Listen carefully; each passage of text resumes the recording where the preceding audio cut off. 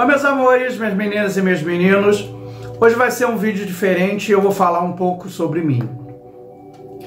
Me chamo Alex Machado, né, mas muitas pessoas me conhecem como Alex Otan, né, dono e proprietário, criador da página Alex Otan Sincero. E eu queria falar um pouquinho sobre a minha vida. Eu fui nascido e criado, né, na zona sul do Rio de Janeiro. Vivi grande parte da minha vida em Copacabana. Depois eu fui passar uma temporada, vamos falar assim, lá no Vidigal. E foi onde que eu tive a minha primeira experiência com o mundo da macumba, né? Vamos falar assim. E aí ali eu recebi pela primeira vez uma entidade que se deu, né, deu o nome de Maria Padilha do Inferno. Ok, ponto. Vamos pular para outras situações. Hoje eu sou gay, né? Hoje eu sou gay, não, sempre fui gay, né? Casado há 30 anos com Jorge. Hoje eu vivo aqui em Itaguaí já está indo também para uns 30 anos, mais ou menos, e foi aqui que eu fui iniciado no candomblé. Na época que eu cheguei em Itaguaí, é, eu já tinha ali um conhecimento sobre a religião, mas não era tão aprofundada. Enfim, ponto. Fui iniciado por Jacira, que é de Omulu, de Obaloaê, perdão, com Inhansã. Ela é de Azawane. E ali fui iniciado e foi dado a mim, né, que eu era também filho de Omulu com Iemanjá. Tudo bem, tudo certo. Houve alguns percalços, não consegui ficar na casa, né, por problemas de não interpretar direito a religião e acabei ficando aí andando para um lado para o outro sem ir para casa de senhor ninguém. Um belo dia resolvi realmente procurar uma outra casa, onde eu tomei minha obrigação de três anos com um, um babalorixá que é da, era da, é da nação Efon. O nome desse zelador é Ivan de Tolodê. Não confundir com Torodê, tá? É Ivan de Tolodê e, e, na época eu era neto então de Fernando do Ogum, tá? que era o, era o pai de santo dele. E aí, também mais uma vez, né? Porque sempre vai falar, sempre, ah, você está sempre andando na casa dos outros, tomando obrigação. Sim, pelo menos eu estava tomando, pagando minhas obrigações. Mas fiquei um, um longo período afastado da religião né? Afastado assim, eu não era de casa de senhor ninguém, então eu me considero afastado da religião. E aí, há cinco anos atrás, acabei tomando né, coragem e também por incentivo dos meus seguidores da minha página, fui pagar minha obrigação de sete anos. Atentem, sou iniciado há 26 anos, caminhando para 27 anos. E como eu falei, casado com o Jorge há 30 anos, né? Oficialmente no papel, vamos falar assim, há 10 anos caminhando para 11 anos. E aí sim, paguei minha obrigação de, de 7 anos, há uns 5 anos atrás, e hoje eu vivo aqui, né, dentro da minha casa, fazendo meus vídeos, né, trouxe meu santo para morar junto comigo, né, os ibás, né, porque meu santo sempre vai estar comigo. Nesse tempo todo, né, que eu fiquei afastado, né, não era de uma casa de religião, mas eu frequentava alguns locais, né, de pessoas conhecidas e tudo mais, eu via muitas coisas. E por que, que eu estou fazendo esse vídeo para dizer tudo isso, contando um pouco da minha história? Porque desde que eu fui iniciado, eu não tinha percebido a grande palhaçada que hoje em dia se vê desses novos zeladores, né? Desse, dessa gama inteira de pessoas que se dizem religiosas, mas que estão colocando a religião como fosse um, um teatro, um circo né? E quando eu falei que eu era casado e sou gay assumido, porque eu tenho propriedade de dizer como homem gay, que todas essas coisas que acontecem na religião estão sendo propagadas e estragadas por causa dos viados, por causa dos gays, principalmente pelos gays masculinos, né? Temos aí algumas mães de santo, alguns algumas mulheres por aí que também não perdem, né? Que nem a lá do Rio Grande do Sul, que agora ela inaugurou um cemitério próprio para a pombageira dela, né? Outras aí que tem aqui que fazem festas homéricas dentro do cemitério lá em São Paulo, aqui nos cemitérios, na frente do cemitério aqui no Rio de Janeiro, dentro e fora, que para mim é um desrespeito total, né, pelo lugar que é privado e não dela, mas enfim, as pessoas estão esculhambando com tudo. Mas voltando na questão dos gays, eu posso falar porque não é uma questão de homofobia, é uma questão de religiosidade, de consciência.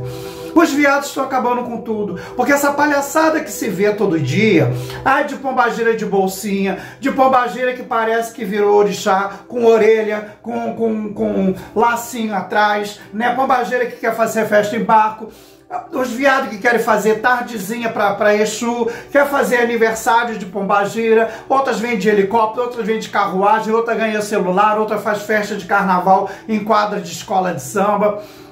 Aí as pessoas ficam assim, eles estão acabando com a religião. Lê do engano, eles não vão acabar com a religião, sabe por quê? Porque a religião ela é resistente. As pessoas que realmente crê em orixá e nas entidades, eles não vão se levar por essa gentalha. Eu digo gentalha porque são gentalhas. Pessoas que nem se sabe se são iniciadas, né? Ou se foram iniciadas, os seladores dessas pessoas não têm critério de cuidar desses filhos de santo.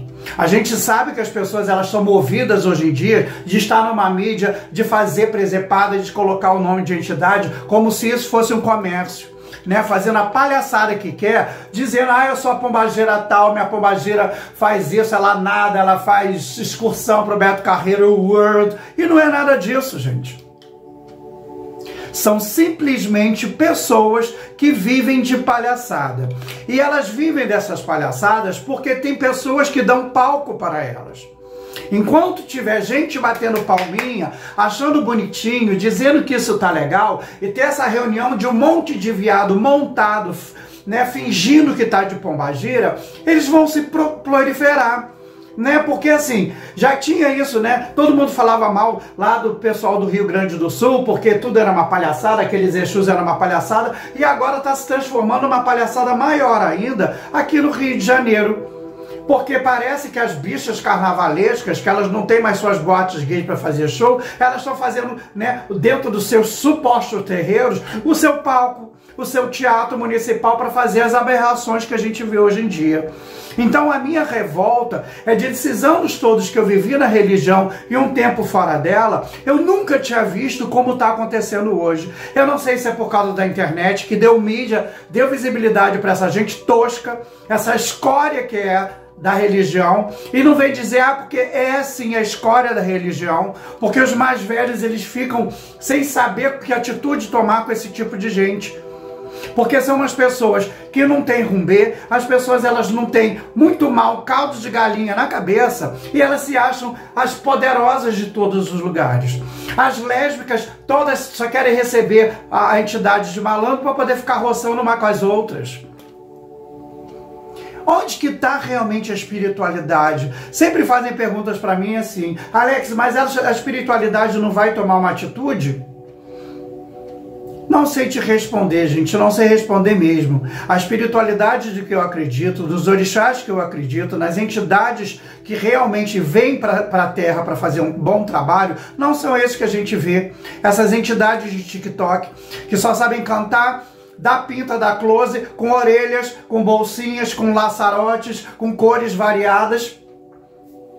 As entidades que eu cultuo e as entidades que eu conheci durante esses anos todos da minha vida, né, e também da vida religiosa, são entidades que vêm, bebem pouco, fumam pouco e trabalham muito dão caminho, dão conselhos, tem palavras de, de, de acalento para as pessoas. Não é essa patifaria, essa badernagem que esse povo está fazendo. Então eu convoco a todos vocês que concordam às vezes com as minhas palavras, né, dentro da minha página, que vamos começar a bloquear essas pessoas, não vamos dar palco para essa gente, não vamos compartilhar esses vídeos ridículos, porque são ridículos. São umas bichas medíocres, que, né, que muito mal sabem falar o português correto, mas elas dizem que são prósperas. Né? Aí a travesti que faz programa e diz que foi a pombagira que deu. A outra bicha que faz não sei o que, uma rifa de não sei de que, para fazer um passeio não sei aonde e que foi a pombagira que deu. Cadê a pombagira para não dar surra nessa gente tosca? É uma questão de reflexão, gente. Eu não sou o dono da verdade, mas a nossa religião é muito mais do que isso, que esse circo dessa gente ridícula que está fazendo, né? De pessoas que se valem da religião para criar uma empresa sobre as pessoas ignorantes. Então não sejam ignorantes. Uma explicação linda e básica. O candomblé e a umbanda são religiões maravilhosas, são religiões que são do Brasil, principalmente a umbanda, que era caridade, fraternidade, né, para abraçar a todas as pessoas. E agora estão colocando no lixo, dizendo que a pombagira, fulano, o Exu, da tardezinha do Exu. Vão tomar vergonha na cara vocês porque vocês não são representantes das religiões de matrizes africanas, vocês não respeitam a ancestralidade, vocês são pessoas idiotas, obscenas, burras, porque não sabem realmente cultuar ou cultivar o que os nossos ancestrais deixaram pra gente. Só mais um detalhezinho. Quem não gosta dos meus vídeos não precisa me seguir. Eu só tenho o direito de falar de coisas que são referentes à minha religião e que é maravilhosa. Se vocês não conseguem ter isso, vocês só querem palco para dar pinta, gente, fundem uma, uma boate de travestis de pombagira. De festinhas que só façam para vocês no meio de vocês e não coloquem na internet porque tá feio, vocês são ridículos. Que meu pai, o Mulu, possa abençoar a cada um de vocês e que Oxalá dê uma tranquilidade e paz para todas as pessoas que merecem. Vamos respeitar nossa religião, vamos nos unir, irmãos, porque a gente está num momento muito crítico da nossa religião por conta dessa gentalha, essa escória que se diz religioso. Mas esse é só mais um recadinho, né, como eu sempre falo, do Titiotan. Fica todo mundo na paz e tranquilidade, porque eu fui.